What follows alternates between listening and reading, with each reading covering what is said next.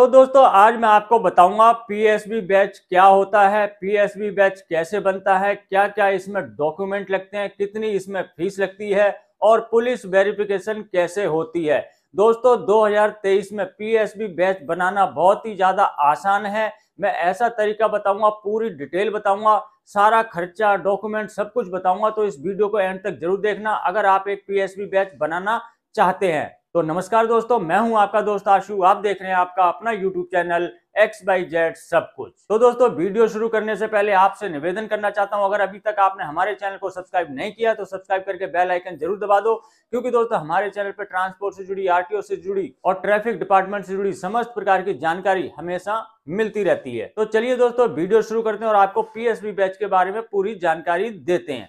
तो दोस्तों, सबसे पहले मैं आपको बता देता हूँ पीएसबी बैच आखिर होता क्या है? काफ़ी सारे ऐसे ड्राइवर भाई हैं जिनको नहीं पता है कि पीएसबी बैच क्या होता है। तो दोस्तों, मैं आपको बता दूँ, जिस प्रकार से हमारा ड्राइविंग लाइसेंस होता है, उसी प्रकार से उसी कार्ड के अनुरूप ही हमारा एक पीएसबी बैच भी बनता है। और दोस्तों, ये जो पीएसबी बैच होता है, ये भी उसी अथॉरिटी से बनता है, जहाँ से हमारा ड्राइविंग लाइसेंस बनता है। अब दोस्तों, आपके मन में सवाल होगा कि ये पीएसबी बैच की आखिर ज़रूरत क्यों होती है? जब हमारे पास ड्राइविंग लाइसेंस है तो हमें पीएसबी बैच की आवश्यकता क्यों होती है? तो दोस्तों, इसके लिए मैं आपको बता देता हूँ। देखिए बड़े बड़े महानगरों में या फिर कई राज्यों में सवारी वाली गाड़ी चलाने के लिए, जैसे कि ऑटो रिक्शा हो गया, टैक्सी हो गई, ओला, उबर की गाड़ियाँ हो गई इस प्रकार की गाड़ियाँ जो सवारी सवारी को ले जाने का काम करती हैं, इस प्रकार की जो गाड़ियाँ होती हैं, उनको चलाने के लिए पीएसबी बैच की आवश्यकता होती है। अगर आप लोडिंग वाली गाड़ी चलाते हैं तो आपको पीएसबी बैच की आवश्यकता नहीं पड़ेगी, सिर्फ़ ये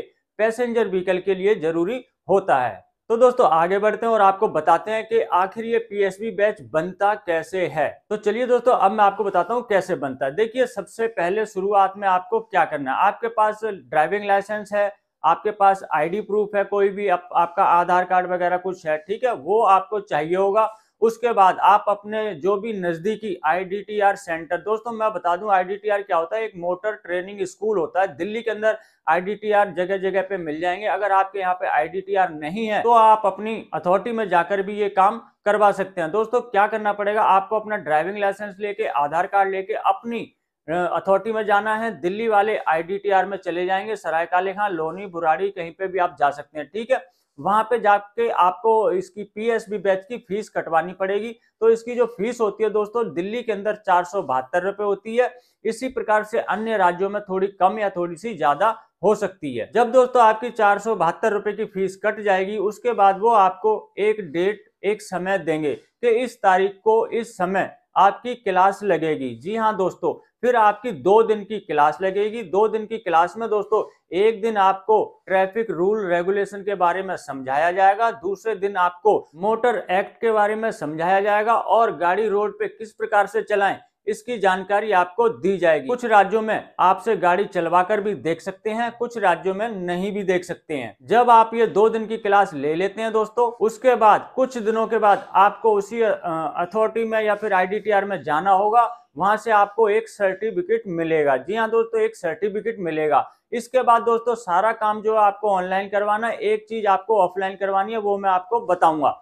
तो दोस्तों, जब वहाँ से आप सर्टिफिकेट ले लेंगे, उसके बाद आपको साइबर कैफ़े पे जाना है। या फिर आप अपने आप भी ऑनलाइन काम कर सकते हैं तो आप अपने आप ऑनलाइन भी अप्लाई कर सकते हैं। मैं तो यही सजेशन करूँगा, आपने अगर पहले कभी इस प्रकार का काम नहीं किया है तो आप सौ डेढ़ सौ रुपए साइबर कैफ़े वाले को देके ये काम बड़ी आसानी से करवा सकते हैं। तो दोस्तों, आपने जो सर्टिफिकेट लिया है आईडीटीआर से या मोटर ट्रेनिंग स्कूल से वो सर्टिफिकेट लेके आप जाएँगे साइबर कैफ़े पे और वहाँ पीएसबी बैच अप्लाई कर देंगे। तो दोस्तों, वहाँ पे पीएसबी बैच अप्लाई करने की आपसे कम से कम 400 या 500 रुपए फ़ीस ली जाएगी, जो कि पीएसबी बैच की प्लस उस साइबर कैफ़े वाले की दोनों की मिला के पाँच के आसपास फ़ीस आपसे वो लेगा। उसके बाद दोस्तों, आप उससे कहेंगे कि जितने भी डॉक्यूमेंट इस पीएसबी बैच अप्लाई करने में लगे हैं वो सारे के सारे डॉक्यूमेंट की एक एक फोटोकॉपी आपने करा लेनी है और जो पीएसबी बैच आपने अप्लाई किया है, उसकी फ़ीस कटवाई है, उसकी पर्ची की भी एक फोटोकॉपी करवा लेंगे। तो दोस्तों, वो सारे डॉक्यूमेंट लेके अब आपको जाना है अपनी अथॉरिटी में। जी हाँ दोस्तों, अब आपको अपनी अथॉरिटी में जाना है, वो सारे डॉक्यूमेंट लेने हैं और वहाँ से आपको अपनी पुलिस वेरिफिकेशन के लिए अप्लाई करना है। वहाँ पे आप जाके कहेंगे कि मुझे पीएसबी बैच मैंने अप्लाई किया है और मैं पुलिस वेरिफिकेशन कराना चाहता हूँ। तो दोस्तों, वो एक फॉर्म फॉर्म देंगे, वो फॉर्म भर के और वो जितने भी डॉक्यूमेंट की कॉपियाँ थी, वो सारी कॉपी उसके साथ अटैच करके आप वहाँ पे फॉर्म भर के जमा कर देंगे।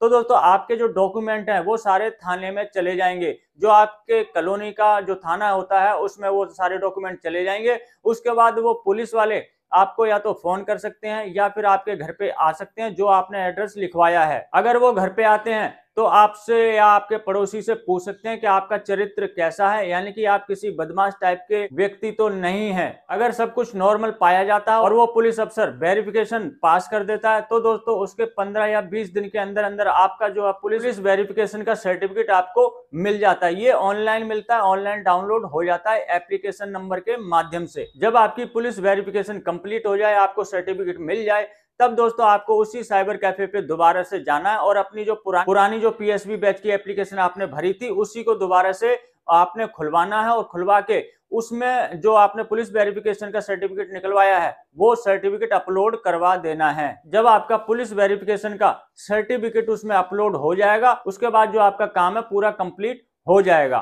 दोस्तों पीएसबी बैच की जो पुलिस वेरिफिकेशन होती है, उसको सीबीआर बोलते हैं। सीबीआर का मतलब फुल फॉर्म होती है कैरेक्टर वेरिफिकेशन रिपोर्ट तो दोस्तों, अब आपका काम कंप्लीट हो चुका है। अब आपको कहीं जाने की आवश्यकता नहीं है। अब आपको पंद्रह दिन कम से कम वेट करना है। जो एड्रेस आपने लिखवाया है, उसी एड्रेस पे आपका पीएसबी बैच बना के भेज दिया जाएगा। तो दोस्तों, इस प्रकार से 2023 में नए साल पे आप अपना पीएसबी बैच बड़ी आसानी से घर बैठे ही बनवा सकते हैं। तो दोस्तों, जानकारी कैसी लगी कमेंट करके मुझे ज़रूर बताना। तो मिलते हैं किसी और जानकारी से भरपूर वीडियो में। तब तक के लिए जय हिंद, जय भारत।